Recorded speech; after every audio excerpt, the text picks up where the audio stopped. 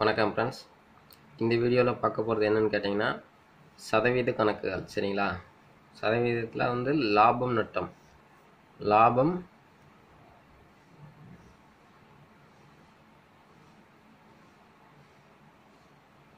லாபம் நட்டம். Profit R லாஸ்ன்னு சொல்லுவாங்க சரிங்களா? ஓகே இதில் வந்து கணக்கு எப்படிலாம் கேட்கலாம்னா ஒரு இதில் வந்து நம்ம என்ன தெரிஞ்சுக்கணும்னா ஃபஸ்ட் வந்து இப்போ ஒரு பொருள் ஒரு பொருள் வந்து நூறுரூவாய்க்கு வாங்கி சரிங்களா? நூறு ரூபாய்க்கு வாங்கி நூறுரூவாய்க்கு வாங்கி நூற்றி இருபது ரூபாய்க்கு சரிங்களா? நூற்றி இருபது ரூபாய்க்கு விற்றால் நூற்றி இருபது ரூபாய்க்கு விற்றால் லாபம் லாபம் அல்லது நட்டம் சதவீதம் எவ்வளவுன்னு கேட்குறாங்க சரிங்களா? ஒரு பொருளை நூறுரூவாய்க்கு வாங்கி நூற்றி இருபது ரூபாய்க்கு விட்டால் லாபமா நட்டமா? இது நமக்கு தெரியும். நூறுரூவாய்க்கு வாங்கி நூற்றி இருபது ரூபாய்க்கு விட்டால் லாபம் தான் சரிங்களா? இருபது ரூபா நமக்கு லாபம் கிடைக்கிது சரிங்களா? இருபது ரூபா லாபம் இந்த இருபது ரூபா சரிங்களா? இப்போ வந்து இருபது ரூபா லாபம் சரிங்களா? இருபது ரூபா லாபம். இருபது ரூபாய்ங்கிறது நூறுரூவாயில் எத்தனை சதவீதம் சரிங்களா? இருபது ரூபாய்ங்கிறது இப்போ நூறுரூவாய்ங்கிறது நூறு சதவீதம் சரிங்களா? நூறு ரூபாய்ங்கிறது நூறு சதவீதம். மொத்தம் இது வந்து இதை நூறு சதவீதம் சரிங்களா? இப்போ இதில் நூறுரூவாயில் இருபது சதவீதம் எவ்வளவு? நூறுரூவாய்ங்கிறது நூறு சதவீதம்னா இருபது ரூபாய்ங்கிறது இந்த எத்தனை சதவீதம் எனக்கு தெரியாது சரிங்களா? இது எத்தனை சதவீதம் கண்டுபிடிச்சா ஆன்சர் வந்துடும் நம்ம ஆல்ரெடி சதவீத கணக்குகள் பார்த்துருந்தீங்கன்னா உங்களுக்கு தெரிஞ்சிருக்கும். இந்த மெத்தடில் போட்டிருப்பேன். இதை அடித்தோம்னா இந்த ஜீரோக்கு இந்த ஜீரோ அடிக்கலாம். இந்த ஜீரோக்கு இந்த ஜீரோ அடிக்கலாம் சரிங்களா? எக்ஸை வந்து இங்கே கொண்டு வாங்க. ஃபோர் இன்ட்டு எக்ஸ் எக்ஸ் சரிங்களா? எக்ஸ் ஈக்குவல் டு பத்து இன்ட்டு இருபது. பத்து இன்ட்டு இருபது. எவ்வளவு? சரி பத்து இன்ட்டு ரெண்டு சரிங்களா? இது ரெண்டு தானே? இதில் வெறும் ரெண்டு தான். பத்து இன்ட்டு ரெண்டு இருபது சரிங்களா? அப்போ இருபது சதவீதம். எக்ஸ் ஈக்குவல் டு இருபது சதவீதம் சரிங்களா? அல்லது இன்னொரு மெத்தட் இன்னொரு ஃபார்முலா கூட இருக்குது. நீங்கள் ஃபார்முலா படி போகிறோம்னாலும் போடலாம் சரிங்களா? எப்படி போடலாம்னா இப்போது டிஃப்ரென்ஸ் எவ்வளவு? நூறுரூவாய்க்கு வாங்கி நூற்றி இருபது ரூபாய்க்கு விற்கிறாங்க இதுக்கு வந்து இது வந்து நமக்கு லாபம் தெரியும். சரிங்களா? அந்த லாபம் வந்து எத்தனை சதவீதம்? அதான் கண்டுபிடிக்க போகிறோம் இப்போ இதுக்கு இதுக்கு டிஃப்ரென்ஸ் எவ்வளவு? இருபது. டிஃப்ரென்ஸை எப்பயுமே மேலே போட்டுருங்க சரிங்களா? டிஃப்ரென்ஸு எப்பயுமே மேலே போட்டுருணும் கீழே என்ன போடணும்னா கீழே வந்து வாங்கிய விலை சரிங்களா? வாங்கிய விலை வாங்கிய விலை எவ்வளோக்கு வாங்குறாங்களோ அந்த ரூபாய்க்கு தான் போடணும் கீழே. கீழே எவ்வளோக்கு வாங்குறாங்க? நூறுரூபா. நூறுரூவாய்க்கு இன்ட்டு நூறு. இதை கண் இதுக்கு என்ன ஆன்சர் வருதோ அதான் இந்த நூறுக்கு இந்த நூறு அப்படி அடிச்சலாம் டேரெக்டாக இருபது சரிங்களா? இருபது சதவீதம். ஓகே இப்போ இது வந்து இன்னொரு சம் பார்த்தா உங்களுக்கே புரிஞ்சிடும் நீங்களே சொல்லிடுவீங்க பாருங்க. இப்போ ஒரு பொருளை ஐநூறுரூவாய்க்கு வாங்குறாங்கன்னு வச்சுங்களேன். ஐநூறுரூபாய்க்கு வாங்கி ஐநூறுரூபாய்க்கு வாங்கி எவ்வளோக்கு விற்கிறாங்க ஒரு ஐநூற்றி ஐநூற்றி அறுபது ரூபாய்னு வச்சுங்களேன். ஐநூற்றி அறுபது ரூபாய்க்கு விற்றால். விற்றால் கிடைக்கும் லாபம் அல்லது நட்ட சதவீதம் காண்க அப்படின்னு சொல்கிறாங்க சரிங்களா? ஓகே. எப்படி கண்டுபிடிக்கலாம்னா நான் ஆல்ரெடி சொன்ன மாதிரி இப்போ எவ்வளவு நமக்கு வந்து அறுபது ரூபா லாபம் பார்த்தாலே தெரியுது. ஐநூறுரூவாய்க்கு வாங்கி ஐநூற்றி அறுபது ரூபாய்க்கு விற்றா அறுபது ரூபா லாபம் கிடைக்குது. இந்த அறுபது ரூபாய்ங்கிறது இந்த ஐநூறில் எத்தனை சதவீதம் சரிங்களா? ஐநூறுங்கிறது நூறு சதவீதம். ஐநூறுங்கிறது நூறு சதவீதம் சரிங்களா? நூறு சதவீதம். அப்படின்னா அறுபது. இதில் அறுபது வந்து எத்தனை சதவீதம்?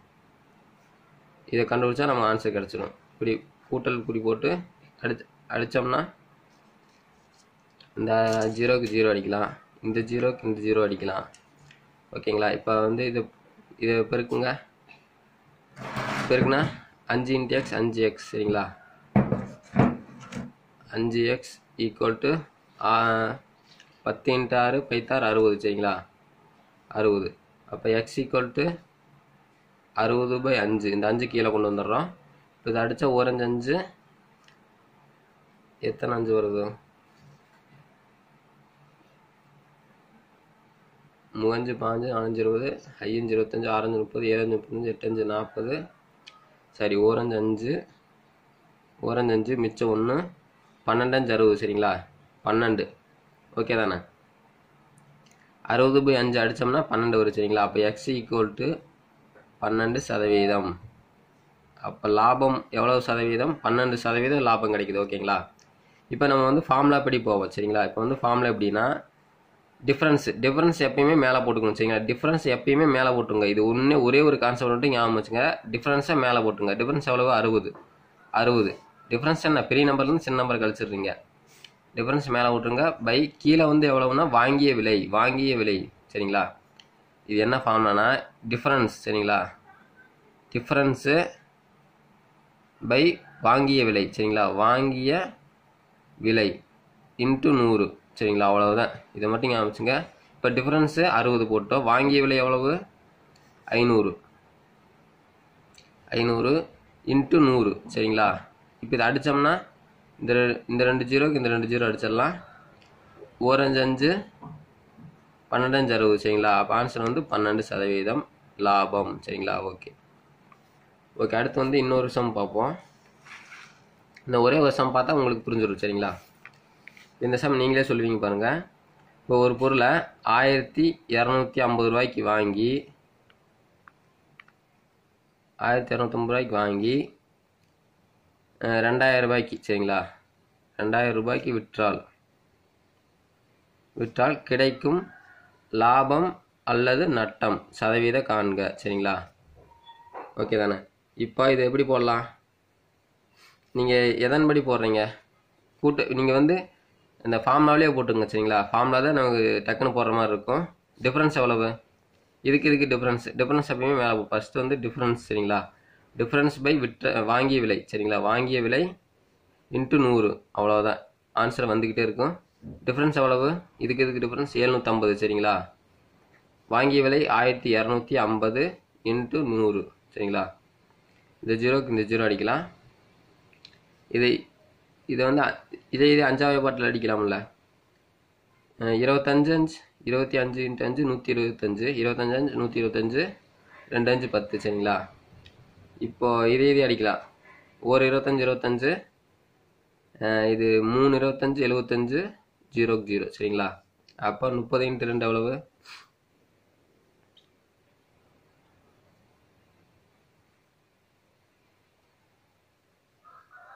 முப்பது இன்ட்டு ரெண்டு எவ்வளவு?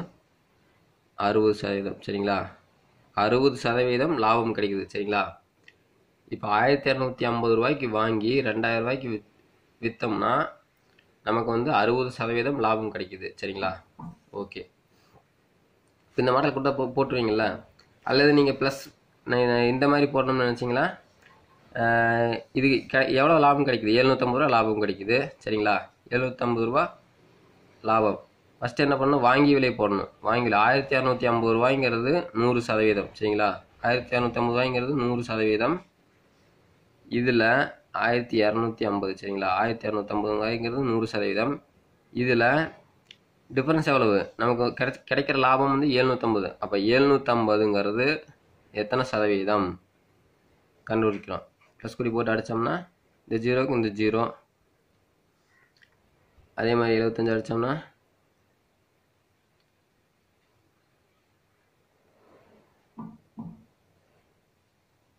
இது அஞ்சால் இதை வந்து எழுபத்தஞ்சு மு முக எழுபத்தஞ்சுன்னு அடிக்கலாம் இதை வந்து மூணு இருபத்தஞ்சு எழுபத்தஞ்சு இது இது வந்து அஞ்சு இருபத்தஞ்சு நூற்றி இருபத்தஞ்சு.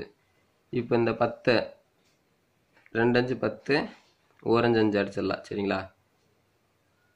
இப்போ நம்ம இரண்டு ஆறு. அப்போ எக்ஸ் வந்து இங்கே வந்துடும் அப்போ எக்ஸ் இங்கே எதுவுமே இல்லை. ஒன்று இருக்குது. ஓர் into x x equal to மூணு இன்ட்டு ரெண்டு. சரிங்களா? X equal to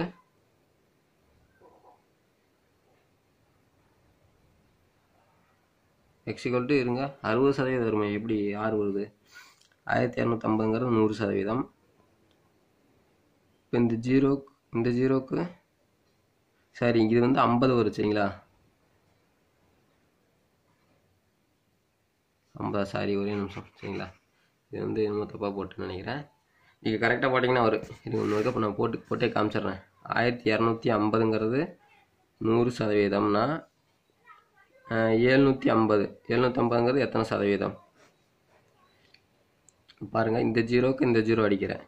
எப்படி அடிக்கிறதுனா கிராஸை மட்டும் அடிக்காதீங்க. இப்படி இதுக்கு இது வகுத்தல் சரிங்களா? இதுக்கு இது வகுத்தல் இதுக்கு இது வகுத்தல் இதுக்கு இது வகுத்தல் இதுக்கு இது வகுத்தல்.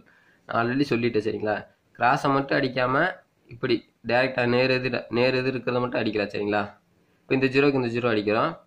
இப்போ இது இது அடித்தோம்னா இருபத்தஞ்சா வாய்ப்பாட்டில் அடிக்கலாம். மூணு இருபத்தஞ்சு எழுபத்தஞ்சு இது எவ்வளவு? அஞ்சு இருபத்தஞ்சு? நூற்றி இருபத்தஞ்சு. ஓகேங்களா? ஓகே. இப்போ வந்து இதை அடித்தோம்னா ஓரஞ்சு அஞ்சு. இது இருபத்தி இது எத்தனை அஞ்சு வரும்? ரெண்டஞ்சு பத்து. இருபதஞ்சு வருமா? இருபதஞ்சு. இருபதஞ்சு நூறு. ஓகே. இப்போ இதை பெருக்கணும்னா இங்கே ஒன்று ஒரு ஒன்று into x x equal to மூணு இன்ட்டு இருபது எக்ஸ் ஈக்குவல் டு அறுபது. சரிங்களா? எக்ஸ் ஈக்குவல் டு அறுபது சதவீதம் ஆகும் சரிங்களா? எப்படி வேணால் போட்டுக்கலாம். நீங்கள் வந்து ஃபஸ்ட் இந்த மெத்தடே போடுங்க. இதுதான் நம்ம வந்து டக்குன்னு போடுற மாதிரி இருக்கும். சரிங்களா? இது வந்து குழப்புற மாதிரி இருக்கும். இதுக்கு வந்து டிஃப்ரென்ஸு டிஃப்ரென்ஸு லாபம் நட்டம் சதவீதம் கணக்கு கேட்டாலே நீங்கள் என்ன ஞாபகம் வச்சுக்கிறீங்கன்னா டிஃப்ரென்ஸை தூக்கி எப்பயுமே மேலே போட்டுருங்க. டிஃப்ரென்ஸை மேலே போட்டுருங்க. பை வாங்கிய விலை எவ்வளவு ரூபாய்க்கு வாங்குறாங்களோ அதை போட்டுருங்க. வாங்கிய விலை இன்ட்டு நூறு. சரிங்களா? இன்ட்டு நூறு. இதுவே இது இப்போ ஒரு ந இப்போ வந்து நட்டத்துக்கு ஒரு கணக்கு போடுற மாதிரி இதே தான் சேம் இதே தான். அதபடி நட்டம் சரிங்களா? இப்போ பாருங்கள் இப்போ வந்து நட்டத்துக்கு ஒரு கணக்கு போடுறேன். ஒரு பொருளை ரெண்டாயிரத்தி இருபத் ரெண்டாயிரத்தி இரநூத்தி ரெண்டாயிரத்தி இரநூறுவாய்க்கு வாங்குறாங்கன்னு வச்சுக்கோங்க. ரெண்டாயிரத்தி இரநூத்தி ரூபாய்க்கு வாங்கி வாங்கி அஹ், ரெண்டாயிரம் ரூபாய்க்கு சரிங்களா? ரெண்டாயிரம் ரூபாய்க்கு விற்றால் விற்றால் கிடைக்கும் லாபம் கிடைக்கும் லாபம் அல்லது நட்டம் சதவீதம் காண்க அப்படின்னு கொடுத்துட்றாங்க கணக்கு. இப்போ இப்போ பாருங்க பார்த்தாலே தெரியுது.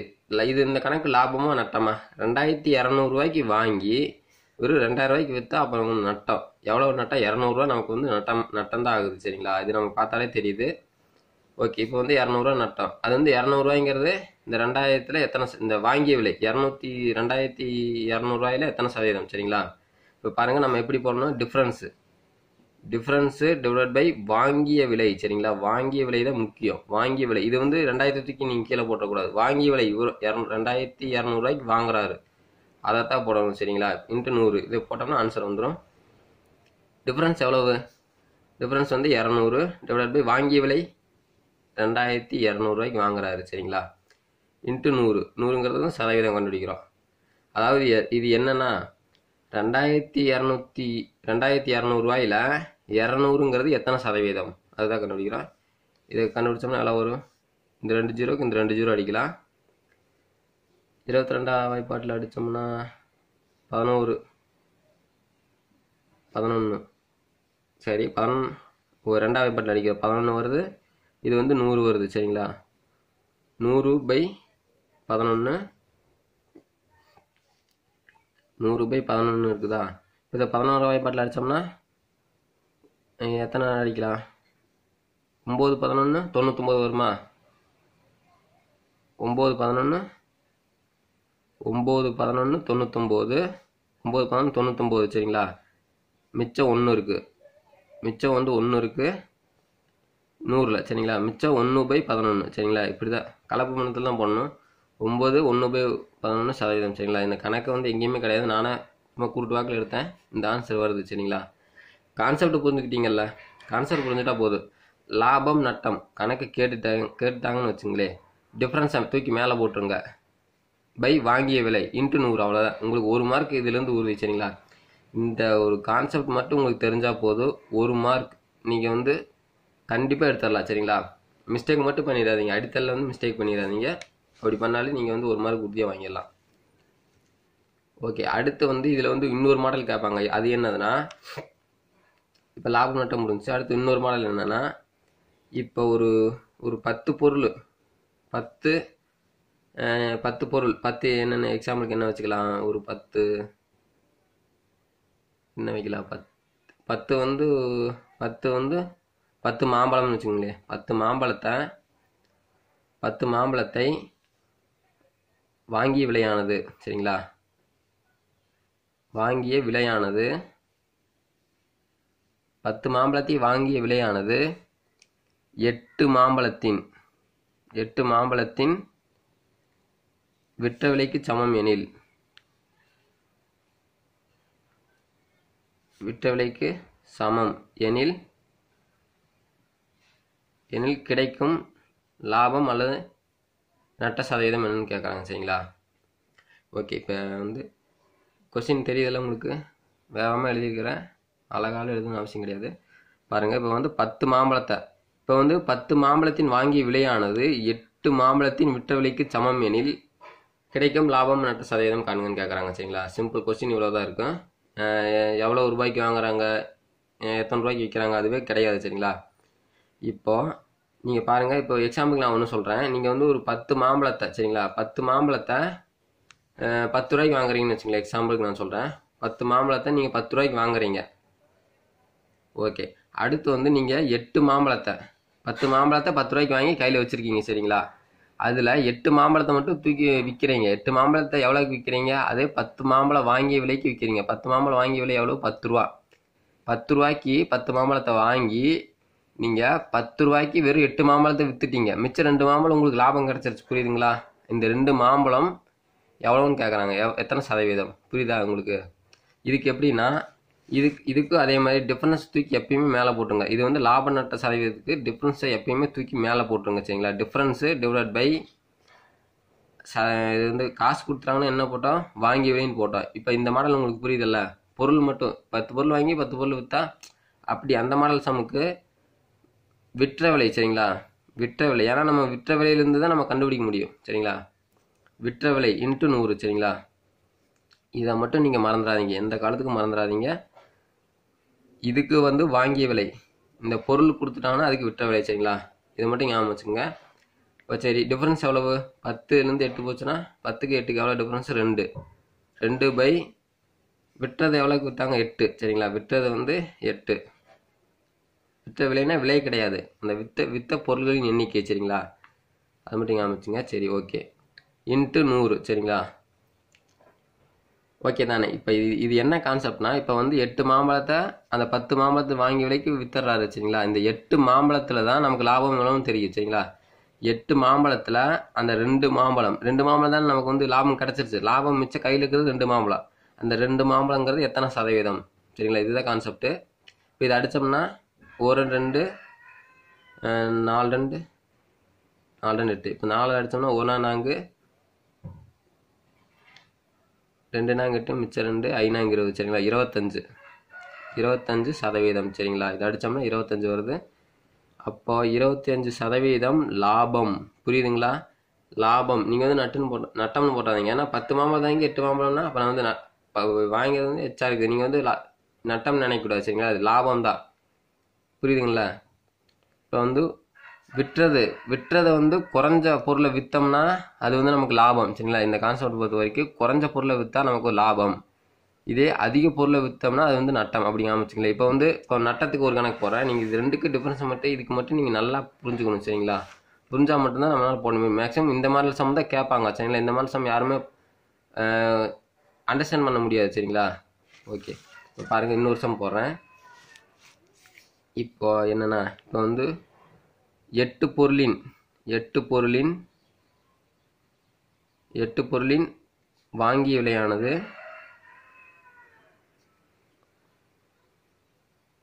எட்டு பொருளின் வாங்கிய விலையானது பன்னெண்டு பொருளின் பன்னெண்டு பொருளின்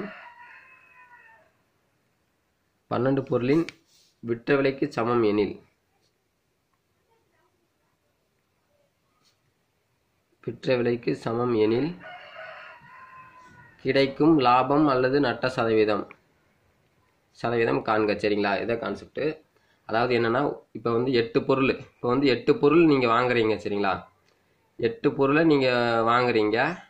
எட்டு பொருளை நீங்கள் ஒரு குறிப்பிட்ட தொகை கொடுத்து வாங்குறீங்க. அந்த அதில் வந்து நீங்கள் பன்னெண்டு பொருளை எட்டு பொருள் வாங்கிய விலைக்கு பன்னெண்டு பொருளை கொடுக்குறீங்க சரிங்களா? அப்படின்னா உங்களுக்கு லாபமாக நட்டமாக பார்த்தாலே தெரியுது நட்டம் சரிங்களா? நட்டம். ஓகேவா? எப்படின்னா இப்போ நீங்கள் எக்ஸாம்பிள் சொல்கிறேன் இப்போ நீங்கள் வந்து ஒரு எட்டு எட்டு சைக்கிள் வாங்குறீங்கன்னு வச்சுங்களேன். எக்ஸாம்பிளுக்கு சொல்கிறேன் இப்போ நீங்கள் வந்து எட்டு சைக்கிள் வந்து ஒரு குறிப்பிட்ட தொகை கொடுத்து வாங்குறீங்க. எட்டு சைக்கிளை வந்து நீங்கள் நூறுரூவா கொடுத்து நூறுரூவாய்க்கு வந்து எட்டு சைக்கிள் வாங்குறீங்க. சரிங்களா? சைக்கிள் வந்து நூறுரூவா கிடையாது விலை. நான் எக்ஸாம்பிள் தான் சொல்கிறேன் சரிங்களா? சரி நீங்கள் ஆப்பிள்னு வச்சுங்க. எட்டு ஆப்பிள் வாங்குறீங்க. எட்டு ஆப்பிளை வந்து நீங்கள் நூறுரூவாய் விலை கொடுத்து வாங்குறீங்க. அந்த எட்டு ஆப்பிள் நூறுரூவா விலை கொடுத்து வாங்கி வச்சுருக்கீங்க. நீங்கள் விற்கும்போது அதே நூறுரூபாய்க்கு பன்னெண்டு ஆப்பிளை கொடுத்து விற்கிறீங்க சரிங்களா? அப்போ உங்களுக்கு லாபமாக நட்டமா? நூறுரூவாய்க்கு நீங்கள் வாங்கினது வெறும் எட்டு ஆப்பிள் தான் சரிங்களா? ஆனால் நீங்கள் விற்கும்போது பன்னெண்டு ஆப்பிளை கொடுத்து நூறுரூவாய்க்கு விற்கிறீங்க சரிங்களா? அப்போனா நமக்கு இதில் நட்டம் சரிங்களா? நீங்கள் உங்களால் புரிஞ்சிக்க முடியலன்னா என்ன ஞாபகம் வச்சுக்கிறீங்கன்னா விற் விற்கிற பொருள் வந்து வாங்கிய பொருளை விட கம்மியாக இருந்தால் லாபம் சரிங்களா? இதே இது அதிகமாக இருந்தால் நட்டம். அதை மட்டும் ஞாபகம் வச்சுங்க அதிகமாக இருந்தால் நட்டம். இப்போ இது வந்து நட்டம் சரிங்களா? இதுக்கு இதுக்கு டிஃப்ரென்ஸ் எவ்வளவு? நாலு. நாலு தான். எட்டுக்கு பன்னெண்டுக்கு டிஃப்ரென்ஸ் எவ்வளவு? இது ஃபார்ம்ல என்னென்னா டிஃப்ரென்ஸு பை விற்ற விலை சரிங்களா? விற்ற விலை விற்ற விலை. இதுக்கு மட்டும் விற்ற விலை. ஞாபகம் வச்சுங்க விற்ற விலை இன்ட்டு நூறு. இப்போ டிஃப்ரென்ஸ் எவ்வளவு? நாலு சரிங்களா? நாலு டிவைட் பை விற்ற விலை எவ்வளவு? பன்னெண்டு ரூபாய்க்கு பன்னெண்டு பொருள் தான் விற்கிறாரு விற்ற பொருட்களின் எண்ணிக்கை வந்து பன்னெண்டு ஓகேங்களா? பன்னெண்டு பன்னெண்டு பன்னெண்டு. இன்ட்டு நூறு. இப்போ பன்னெண்டு பொருளில் நாலு பொருள் எத்தனை சதவீதம் கேட்குறாங்க சரிங்களா? போட்டோம்னா எவ்வளோ வரும்? ஒரு நாள் நான்கு முன்னாங்க பன்னெண்டு. ஓகே. நூறை நாள் அடித்தோம்னா நூறு டிவைட் பை நாள் அடித்தோம்னா ஒரு மூணு ஒரு மூணு மூணு முன்மூணு ஒம்பது மிச்சம் ஒன்று பத்து. முன்மூணு ஒம்பது அப்புறம் மிச்சம் ஒன்று இருக்குது ஒன்று பை மூணு சரிங்களா? இது எவ்வளோனா முப்பத்தி மூணு ஒன்று பை மூணு சதவீதம் சரிங்களா? ஓகே தானே? ஓகே இதுக்கு வந்து இதுதான் ஆன்சர் ஒன்று சொல்லிக்கிறேன் இந்த கணக்கு வந்து நானாக எடுத்தது எந்த புக்லேயும் கிடையாது. நானாக சும்மா குருட்டடியில் எழுதுனது.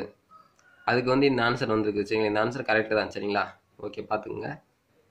இப்போ இதுலேருந்து இப்போ லாபம் நட்டம் இதுதான் பேசிக்கான கான்செப்ட் இதை மட்டும் நீங்கள் புரிஞ்சுட்டாலே போதும் எவ்வளவு பெரிய கணக்கு எவ்வளவு விலை பெரிய நம்பர்லாம் கொடுத்தா கூட போட்டலாம் இப்போ இன்னொருக்கா மட்டும் நான் சொல்லிடுறேன். லாபம் நட்டம் இதை கணக்கு எடுத்துக்கிட்டாலே நூறுரூவாய்க்கு வாங்கி நூற்றி இருபது ரூபாய்க்கு விற்கிறாரு பார்த்தாலே தெரியுது லாபம். இருபது ரூபாய் இருபது ரூபா லாபம் கிடைக்குது. அது எவ்வளவு? நூறுரூவாய்க்கு வாங்கி விற்ற விலை எவ்வளவு? சரி வாங்கி விலை. சரி இதுக்கு வந்து ஃபஸ்ட்டு ஃபார்முலா இதுதான் ஃபார்முலா சரிங்களா? இது ஃபார்முலா ஞாபகம் வச்சுங்க. டிஃப்ரென்ஸு டிஃப்ரென்ஸு பை வாங்கிய விலை இன்ட்டு நூறு. இந்த காசு கொடுத்து வாங்கி பொருளை விற்கிறதுக்கு வந்து இப்படி போட்டுருங்க. இதே பொருட்கள் பத்து பொருள் வாங்கிய விலை எட்டு விலைக்கு விற்ற பொருள் சமம் எனில் அதுக்கு வந்து வாங்கிய விலைக்கு பதிலாக விற்றவைன்னு போட்டுங்க. அவ்வளோதான் இந்த லாப நட்ட கணக்கே முடிஞ்சது ஒரு மார்க் புதிய வாங்கிடலாம். ஸோ ஓகே டிஃப்ரென்ஸ் டிஃப்ரென்ஸ் இருபதை போட்டுங்க. வாங்கிய விலை நூறுரூவாய்க்கு வாங்கிறாரு. அப்படின்னா வாங்கிய விலை இன்ட்டு நூறு போட்டிங்கன்னா ஆன்சர் வந்துடும் ஓகே நீங்கள் மேக்ஸிமம் இந்த மெத்தட் நீங்கள் யூஸ் பண்ணாதீங்க சரிங்களா? ஓகே அடுத்தது ஓகே அடுத்து வந்து பொருட்களுக்கு போயிடலாம். பொருட்களுக்கு என்னென்னா இப்போ டிஃப்ரென்ஸு பத்து பொருளின் வாங்கிய விலையானது எட்டு பொருளின் விற்ற விலைக்கு சமம் எனில் சரிங்களா? இப்போ பத்தை விட எட்டு கம்மியாக இருந்துச்சுன்னா சரிங்களா? கம்மியாக இருந்துச்சுன்னா நமக்கு லாபம். இதே அதிகமாக போயிடுச்சுன்னா நமக்கு நட்டம் சரிங்களா? அதை மட்டும் ஆரம்பிச்சுங்க கம்மியாக இருந்தால் லாபம் கம்மியாக இருந்தால் லாபம் கம்மியாக இருந்தால் லாபம். ஓகே இங்கே வந்து இதை மட்டும் சொல்லிடுறேன். லாஸ்ட்டாக இது வரைக்கும் பார்த்தது என்னன்னு நான் சொல்லிடுறேன். லாபம் நட்டம் சதவீதம். கேட்டாங்கன்னு வச்சுக்கோ ரூபாய். அது கொடுத்து கேட்டாங்கன்னா டிஃப்ரென்ஸு டிஃப்ரென்ஸு பை வாங்கிய விலை வாங்கிய விலை வாங்கிய விலை இன்ட்டு நூறு. இந்த ஃபார்முலாவை தூக்கி கொடுக்குறதுக்குள்ள போட்டிங்கன்னா உங்களுக்கு ஆன்சர் கிடச்சிரும். சரிங்களா? ஓகே அடுத்தது ரெண்டாவது மாடல் என்னென்னா இப்போ பத்து பொருள் வாங்கிய விலையானது. பொருட்கள் பொருட்கள் பொருட்கள் லாபம் நட்டம் சதவீதம் அப்படி வச்சுங்களேன் அப்படி கொடுத்தாங்கன்னா டிஃப்ரென்ஸு பை விற்ற விலை விற்ற விலை சரிங்களா? விற்ற விலை இன்ட்டு நூறு. இதை மட்டும் ஞாபகம் வச்சுங்க போட்டுடலாம்.